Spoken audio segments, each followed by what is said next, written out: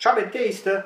Gli amici di Universal ci hanno chiesto di realizzare dei video in occasione del Ritorno al Futuro Day che avverrà il prossimo mercoledì in cui noi della redazione dovevamo spiegare perché secondo noi e perché secondo una larghissima fetta di persone in tutto il mondo la saga di Robert Zemeckis nata ben 30 anni fa sia così popolare. Io non me lo so davvero spiegare, tanto per fare una rima inutile alla Tiziano Ferro, non perché Tiziano Ferro sia inutile, ma perché la rima in sé era abbastanza banale. Detto questo, è dal 1985, da quando avevo la tenerissima età di 5 anni, che mi domando ma perché questa saga piaccia così tanto e spinga e abbia spinto le persone a comprare VHS, cofanetti in DVD, cofanetti in Blu-ray, che vedete qua, altri cofanetti in Blu-ray perché è sempre meglio averne due copie perché non si sa mai, magari uno lo presti e dopo, boh, vabbè, non torna mai indietro. E, uh, oppure, che ne so, qui c'è una DeLorean Lego, Auto Time. Qui è cascato Doc Emmett Brown, ma ci sono anche dei Funko io non lo so, veramente non l'ho mai capito, io non ho mai amato questa saga, non capisco perché il 21 ottobre si debba festeggiare il viaggio nel futuro di Doc e Marty McFly. Tutto quello che vi posso dire è che questa sera ho un appuntamento, ho un cerimoniale ritmico e quindi me ne vado, vi saluto e buon ritorno al futuro day. Non capisco perché siate così fissati. A memoria mia non era mai capitato che si festeggiasse un giorno e un anniversario che non esistono e appartengono solo ai film.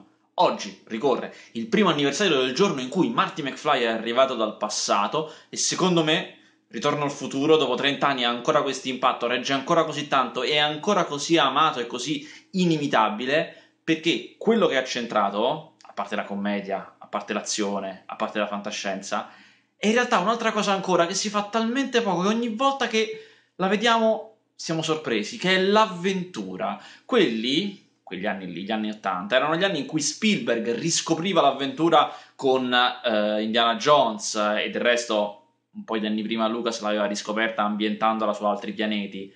Zemeckis continua esattamente in quel percorso e fa un film che non è azione, non è commedia e non è fantascienza, ma è cinema d'avventura, cioè quei film che usano luoghi esotici, cioè altri tempi, per scene dinamiche, per grandi inseguimenti, per un'avventura più grande della propria vita. Cosa ricordiamo di Ritorno al futuro? Ricordiamo delle battute, ricordiamo dei baci, ricordiamo de- piccole, dei piccoli momenti intensi? Sì, ma anche no. In realtà, quello che ricordiamo di Ritorno al futuro è Marty McFly che attraversa la macchina di Biff e ricade sul suo skateboard nel grande inseguimento di fronte al laghetto. Ricordiamo l'immenso George McFly che picchia Biff, uno dei momenti di massima soddisfazione possibili. Ricordiamo Marty che rischia di scomparire mentre suona e ancora ricordiamo ovviamente Doc che si cala giù per la fune per riuscire a far ritornare di nuovo nel suo presente Marty McFly. Tutto questo è l'avventura. Il fatto che ci ricordiamo solo scene dinamiche, solo grandi movimenti, grandi momenti epici, avventurosi con una colonna sonora incredibili, in realtà è il segreto di Pulcinella di perché Ritorno al futuro è Ritorno al futuro anche dopo 30 anni. È per me molto emozionante ritornare con la mente a Ritorno al futuro, 1985. Avevo 10 anni e il ricordo dell'esperienza cinematografica in sala è perso nella nebbia della memoria.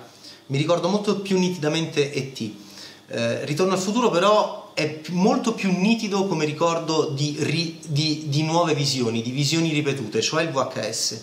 Quindi ero, ero, diventato un pochino più grande, erano passati un pochino di anni dall'uscita cinematografica in sala e quella cassetta con mio cugino eh, era, era, vista e rivista, quel film era visto e rivisto, lo vedevamo in continuazione insieme a, ad altri film, ma Ritorno al futuro c'era sempre. Perché? Perché stavo per diventare adolescente e mi identificavo molto e, e, e, io sono stato peggio di un nerd da adolescente, ero un disadattato totale. E in quel, in quel, momento in cui il cinema era innocente e la visione cinematografica era innocente, per me che poi sono diventato un orribile analista professionista cinematografico, eh, vedere e rivedere quel film mi serviva per capire come la debolezza si potesse trasformare in forza. Il personaggio in cui mi identificavo di più era, non era Marty, che era troppo vincente, era troppo sicuro di sé, anche se adoravo Michael J. Fox, era Crispin Glover, suo padre. Eh, perché?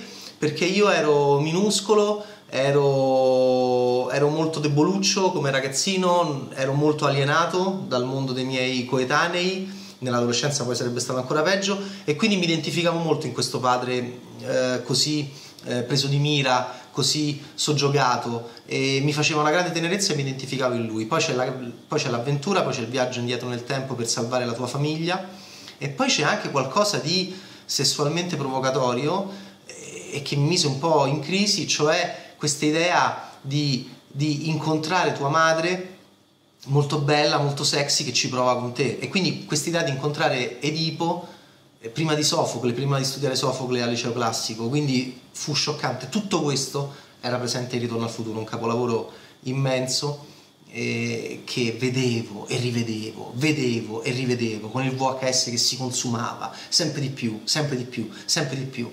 E, e quindi buon anniversario Ritorno al futuro, grazie di essere stato presente nella vita di questo piccolo uomo, grazie di avermi insegnato eh, a credere nella, eh, nella possibilità di cambiare le nostre vite, perché Marty riesce a cambiare la vita dei McFly, riesce a cambiare il futuro della sua famiglia andando nel passato e questo è un tema universale perfetto, geniale. Grazie Robert Zemeckis, grazie Ritorno al futuro e buon anniversario.